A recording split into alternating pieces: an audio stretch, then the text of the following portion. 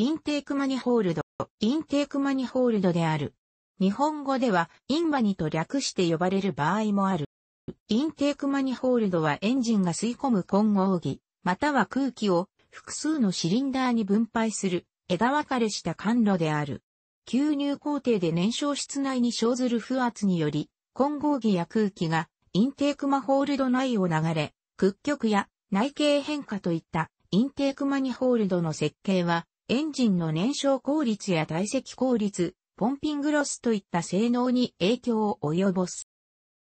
インテークマニホールドはかつては中鉄やアルミニウム合金で製造されることがほとんどであったが、自動車用エンジンではエンジニアリングプラスチック製も増えている。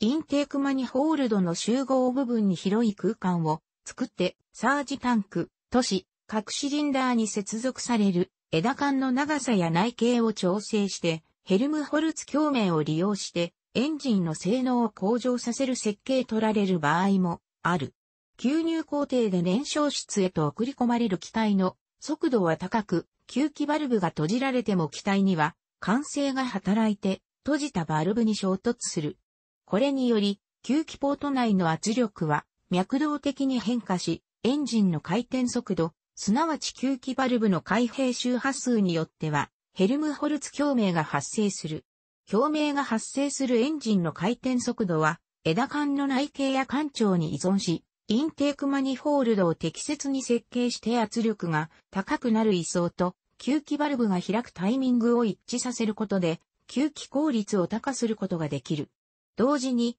共鳴が他のシリンダーの枝管に影響すると設計通りの働きを示さない場合もあることから、管の集合部にはサージタンクを設けて共鳴が他の枝管に影響するのを抑え構造としている。キャブレター仕様の V 型8気筒エンジンで、クランク角の位相が180度異なるシリンダーの吸気脈動を分離するように2層分割型のサージタンクを持つインテークマニホールドが採用される場合がある。一方のシリンダーからもう一方への圧力波の干渉を減少し、エンジン回転速度が中程度の領域において吸気の流れを滑らかにすることで、エンジン出力がより高くなる。こうしたマニホールドは、元アニバレルや4バレルキャブレターのために設計されたが、燃料噴射装置が普及した現在、スロットルボディインジェクションにもマルチポイントインジェクションに用いられている。電子制御技術の発展により、エンジン回転域に応じて枝管の長さを切り替える可変調式インテークマニホールドも実用化された。低回転域用の長くて細い枝管である、プライマリポートと、高回転域用の短くて太いセカンダリーポートの2、系統を用意し、エンジンの回転速度に応じて、集合部の出口に設けられたバルブで切り替え、環境の違いによって、ヘルムホルツ共鳴の周波数を切り替えるだけでなく、プライマリポートは関係を補足することで、吸入空気の流速を上げ、セカンダリポートは吸気抵抗を少なくするためにふと作られている。切り替えバルブは複数設けられることもあり、2段階以上の可変調を可能性としている場合もある。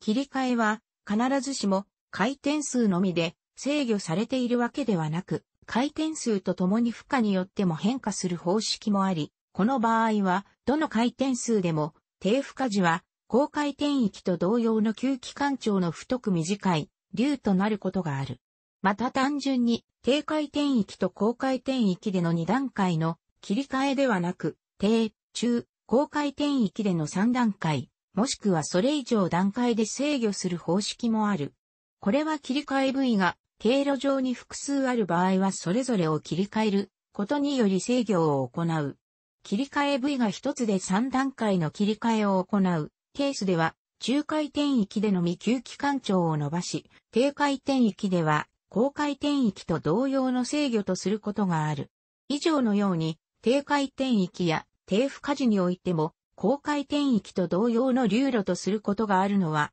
流量が少なく環境が長いことにより抵抗が、かえって大きくなる場合や、流路を開放し全体をサージタンクとすることで低回転時、低負荷時に増加する吸気脈動を吸収し、安定化させるケースなどで有効に働く。